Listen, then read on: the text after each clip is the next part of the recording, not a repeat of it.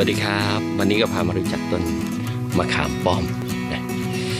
มะขามป้อมในใบก็คล้ายๆ ใบมะขามนะครับนะก็เป็นมีผลกลมๆนะให้วิตามินซีสูง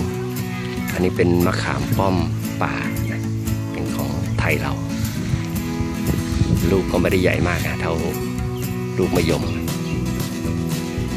ใหญ่กว่าหัวแม่มือสักนิดหนึ่ง เดี๋ยวนี้เริ่มจะหายากนะไม้ป่า ถ้าเราไม่อนุรักษ์กันไว้เนี่ยต้นก็เป็นต้นไม้ขนาดใหญ่ ก็สูง 10-20 เมตรนะครับเรามาดูใกล้ๆดูใบมะขามป้อมลักษณะใบก็คล้ายๆใบมะขาม ก็จะออกลูกตามกิ่ง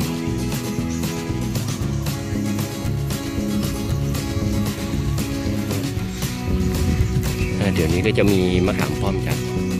พันธุ์ต่างประเทศนะก็มาขายกันเยอะแยะมะขามป้อมของต่างประเทศอาจจะพันธุ์ลูกใหญ่ แต่ผมว่ารสชาติของมะขามป้อมไทยนี่ก็สุดยอดเลยสรรพคุณทางยาเยอะแยะ เป็นยาสมุนไพร ที่ใช้บำรุงร่างกายใช้ขับเสมหะอะไรพวกนี้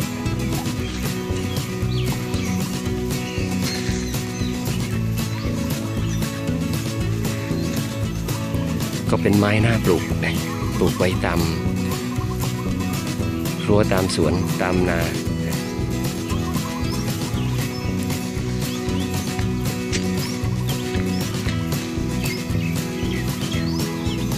เป็นไม้ประดับที่เราสามารถกินได้ไม่เสียหลาย แต่ใบเขาก็ค่อนข้างจะร่วงนิดนึงงั้นไม่ต้องไปสนใจใบร่วงมาก็เป็นปุ๋ยพอดีต้นนี้ก็ขนาดใหญ่พอสมควรน่าจะออกลูกได้แล้วแต่ยังยังไม่เห็น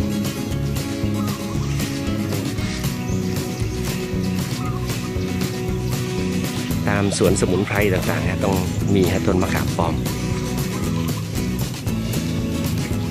ผลเก็บทานได้เลยครับ ยิ่งเวลาเรา เก็บทานเนี่ยทานเสร็จจะมีรู้รู้สึกว่าจะมีรสฝาดๆแต่พอดื่มน้ำตามมาน้ำจะมีรสหวานมากเลย